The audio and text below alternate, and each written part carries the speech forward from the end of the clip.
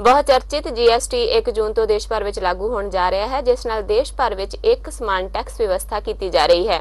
ਚੰਡੀਗੜ੍ਹ ਵਿੱਚ central excise ਦੇ commissioner Kishori Lal ਨੇ ਪ੍ਰੈਸ ਕਾਨਫਰੰਸ ਦੌਰਾਨ ਕਿਹਾ ਕਿ GST ਦੇ ਲਾਗੂ ਹੋਣ ਦੇ ਨਾਲ ਚਾਰਾਂ ਸਟਾਕ ਹੋਲਡਰਾਂ ਨੂੰ ਫਾਇਦਾ ਹੋਵੇਗਾ।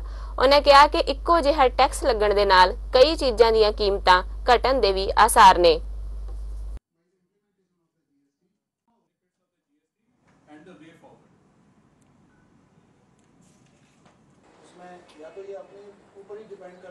GST लागू होने से जो इसके चार स्टेक होल्डर्स हैं, चारों को ही फ़ायदा होने वाला है। और वो चार स्टेक होल्डर्स हैं, जैसे कंज्यूमर हो गया टैक्स पेयर हो गया टैक्स एडमिनिस्ट्रेटर हो गया और इकोनॉमी हो गई। कंज्यूमर को इसलिए फ़ायदा हुआ क्योंकि कैस्केडिंग इफ़ेक्ट कम होने से कैस्केडिंग कैस्केडिंग इफ़ेक्ट खत्म होने से प्राइसेस डाउन होने के, कम होने के आसार हैं, जो फाइनेंस मिनिस्टर ने भी अश्योर किया है। मार्केट को ये फ़ायदा होगा क्योंकि जो गुड्स जो है इजीली मूवमेंट हो जाएगा। टैक्स एडमिनिस्ट्रेटर को इसलिए फ़ायदा होगा क्योंकि जो इंटरेक्शन है असेसी और डिपार्टमेंट के बीच में, वो सारा जीएसटी एंड नेटवर्क के थ्रू होगा तो वो ज़ीरो हो जाएगा तो कंप्लेन फ्री एटमॉस्फेयर वर्क करने के लिए मिलेगा।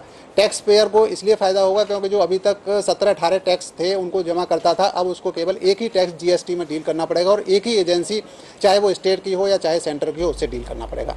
तो इस तरीके से ये जीएसटी का इम्प्लीमेंटेशन चारों स्टेक होल्डर्स को फ़ायदेमंद, सौदा होने वाला है।